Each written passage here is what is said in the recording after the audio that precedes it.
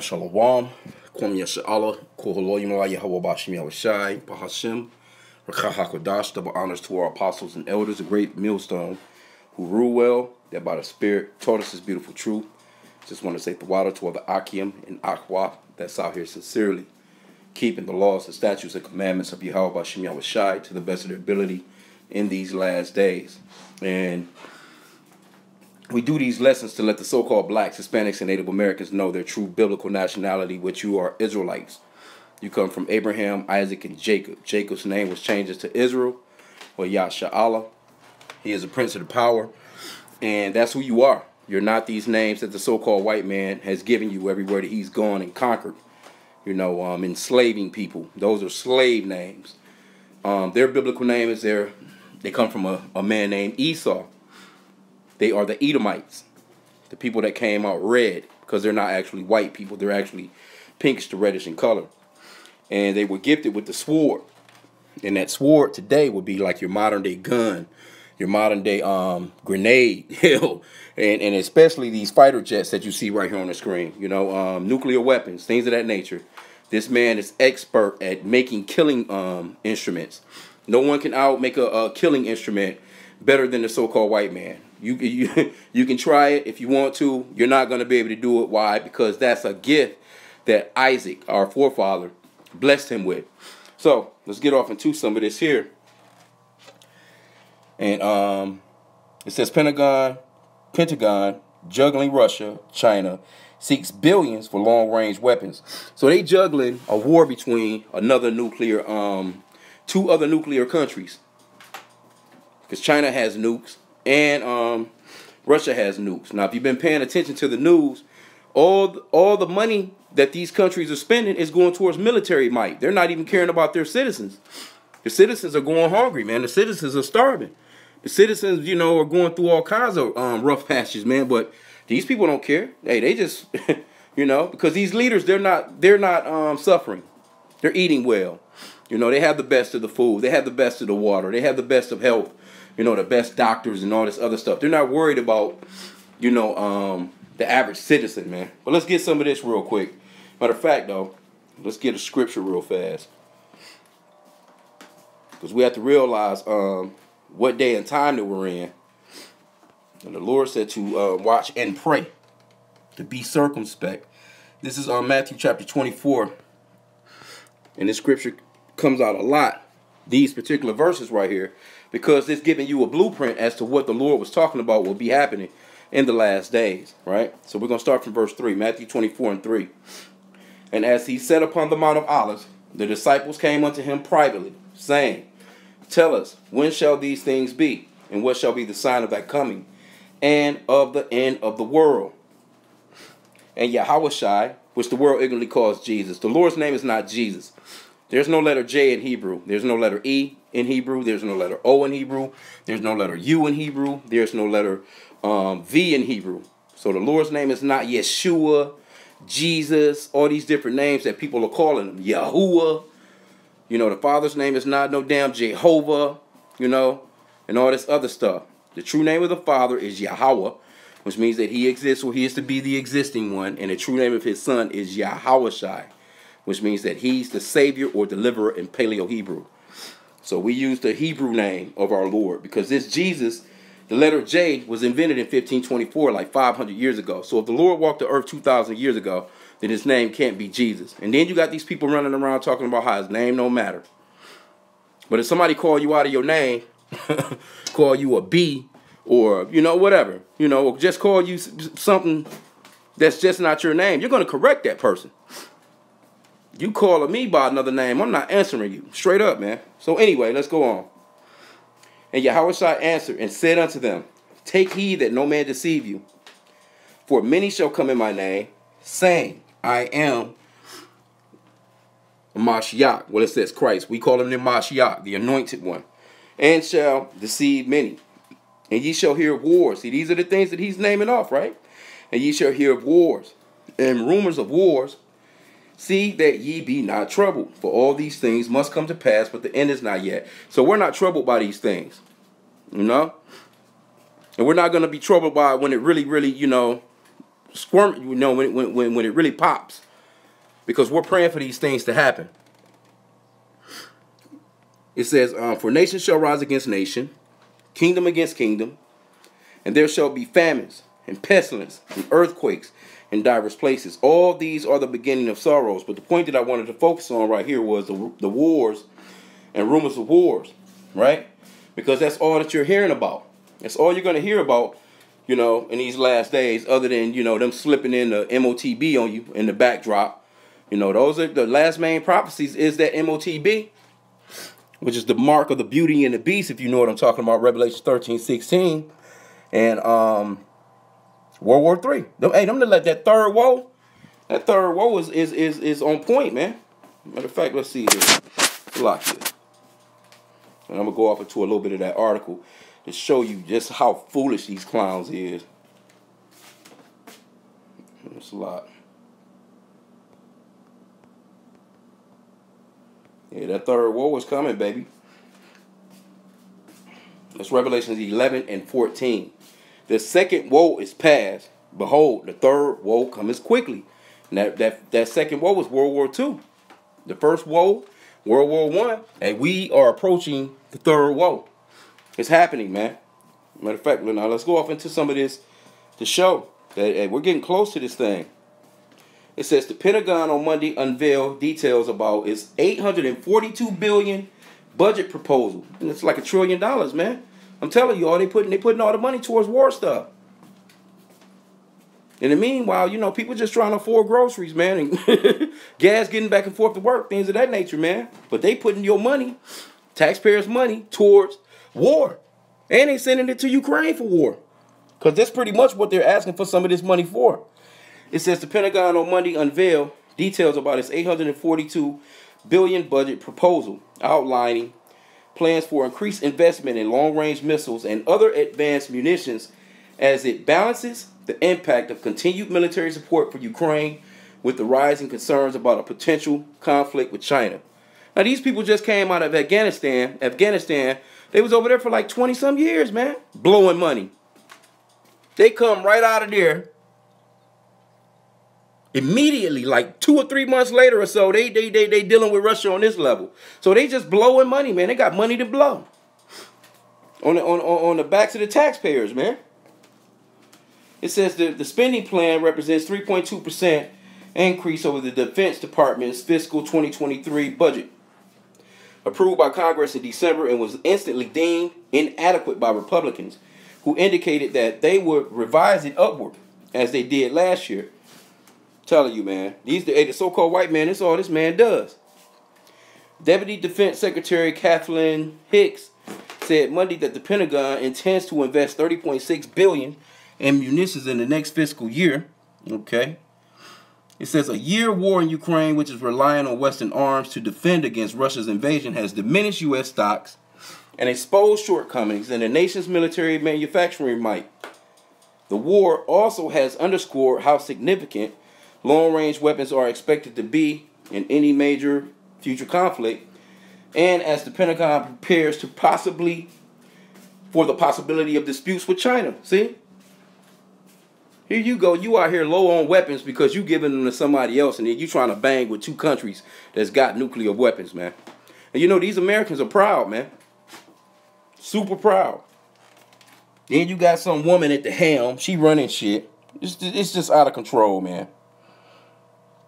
I don't really want to go too much further into this. You you get the gist of it. They hey they matter. Let me see here. McCord said Defense Secretary Lloyd Austin, who was traveling with Biden in California on Monday, is happy with the budget number that has been proposed, even it even if it doesn't buy everything that we would would have liked to do. The comptroller predicted that it is a matter of time before the Pentagon budget reaches a trillion dollars per year. when the numbers are what they are, it's inevitable, he said. It just reflects the growth of the economy. Hey, no, what the fuck you mean growth of an economy? You're 40 bi- you're 40 trillion in debt. See? hey man, this man must be stopped, man. Now let's get it. Cause I I I, I uh I went into this because I was watching this earlier as well, right? Biden announces nuclear powered submarines for Australia. See? See? Now, you so-called blacks, Hispanics, and Native Americans, tell me where how, where do you come in on this? Other than them just uh, uh, working the shit out of your ass for, for, for little or nothing and taking money out of your checks to do all this shit. What do we have to do with Ukraine? What do we have to do with Australia? What do we have to do with um, NATO, the European? What do we have to do with these white countries? Or so-called white countries, I'll call them. We have absolutely nothing to do with them. And, and that, that ought to show you that we're still in slavery. Because we should be, if we wasn't in slavery, we'd have our own country and we'd be um, um, pushing forth a military budget for of our own. you see, as our as our own sovereign people, right? Okay, but anyway, you can see what's popping. Cause why do they uh, why are they giving um Australia these nuclear a fleet of them, nuclear submarines? Because they about to get popping with this World War Three. Everybody is getting set, even the French. Matter of fact, I seen something on the French today too. Let me see if they got something in here. Yeah, they was talking about um some things too.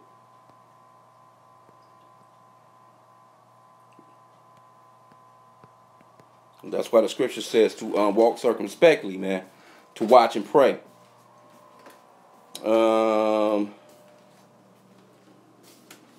we're trying to go into all that. Okay, it says 430 billion euros. The budget for the period will stand at 1,413 billion euros, or 447 billion dollars, basically, up from 295 billion. So, see, these countries, they're putting all the money into the military. Why are they doing that? Here you go. You got now. They acting as if the war in Ukraine just pushed all the food prices up, pushed the gas up, but you got, here you go, you got America spending a trillion dollars. You got France damn near spending a trillion dollars. We ain't even included all the other 29 or 30 or so damn NATO nations that's um, putting towards military um, um, a military budget. You know, I guess if you was to put it all together, man, they probably out 20, 30 trillion dollars, man, just in war shit. So you trying to tell me this one continent supposed to be the breadbasket of the world you spending all this money on the military, and, and, and, and, y'all can't find no land over hell. Bill Gates buying up land. You can't rent a little bit of land from Bill Gates to to um plant wheat. you know, and all these other things that they talking about. That's how you know they on some bullshit, man. But they're gearing up for World War III, man. That's exactly what's going on. And, and it's hey, it's all these countries. See, you got um Military budget by country right here. You got the United States at $750 billion, man. China is saying at $237 billion. Saudi Arabia, but you hey, you, you can get this list if you want to um let me see. Let's just go into it a little bit. But this is insane, man. $750 billion?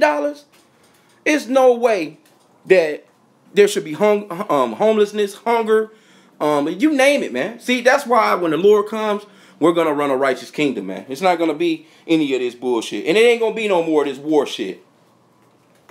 You see what I'm saying? Ain't gonna be no more of this. See, here go the billions right here. But they'll tell you that Ukraine, Russia, done plugged up the whole world and nothing can flow. But y'all got all this money to spend on military might, man. It's incredible. 778 billion. And this was um 2020. This is beyond beyond that now. 778 billions for the Americans, 252 billion estimated, which China probably putting a lot more money into their shit too. You know, China not gonna put they they ain't gonna let you know all the all the details. India 72.9 billion, Russia 61.7 billion, United Kingdom 59.2 billion, Saudi Arabia 57.5 billion estimated, Germany 52.8 billion. France 52.7 billion, Japan 49 billion, South Korea, come on man. And these, come on man. We are man. This shit is out of control. Anyway, this is the point that what I wanted to make though, that Matthew 24 and, and um 6. And ye shall hear wars and rumors of wars. See that ye be not troubled. For all these things must come to pass, but the end is not yet. And like I said again, AC America juggling between Russia and China. They trying to defend Taiwan. They trying to defend Ukraine. They trying to defend Israel. They trying to come on, man. In the meanwhile, the people going hungry. You got damn near uproars of the people in this place. The people, hey, and people, and people about to be pissed, man, when, uh, with this bank shit that's going on lately. People are pissed. So, I mean, hey, we're living in the last days, man. This is about it. You so-called blacks, Hispanics, and Native Americans, we do these lessons so you you you can see the comparisons. You can see the prophecies. You know, as we read them out, these things are happening. These things are happening. It's famines going on all over the world. They ain't even talking about the Turkey earthquake no more. About 60,000 people just died last month in that earthquake.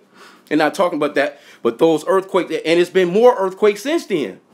So some, those are the things that the Lord was talking about. Earthquakes. He mentioned the famines, pestilence. You, they, they still talking about all kinds of different damn diseases out here. Plagues.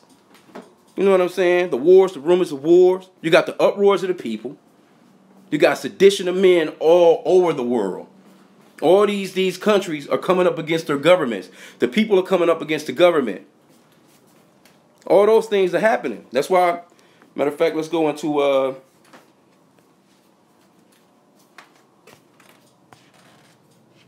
let's go into the Apocrypha real quick. And I mean, we're, we're praying for these things. We're actually rooting these things on. This is uh Second Esdras chapter 9, verse 1. Let's start from, from the top, verse 1. He answered me then and said, Measure thou the time diligently in itself. And when thou seest part of the signs pass, which I have told thee before, then shalt thou understand that it is the very same time wherein the highest will begin to visit the world which he made. Salakia, down to 10%. Therefore, when there shall be seen earthquakes and uproars of the people in the world, then shalt thou well understand that the Most High spake of those things from the days that were before thee, even from the beginning. So these things are happening. He said to measure thou the time diligently. How do you measure the times? By what the Lord has said was going to be happening in the last days. That's your measuring stick right there. You see? So I'm not going to keep this long. I wanted to, you know, um, just touch on this for a hot sec. I tried to do it before, and I didn't have a lot of battery life on here. And uh, once I recorded it, you know, it kind of died on me and didn't keep the recording. I kind of done that work for nothing. But anyway, I mean, it's it's done. It's the, you know, I you know I would just say in the spirit that this is the way that the Lord wanted it done. You know, to just mention these things and um, bring out these scriptures and precepts to us. So with that, I pray that the lesson was edifying. Kwame Yashala.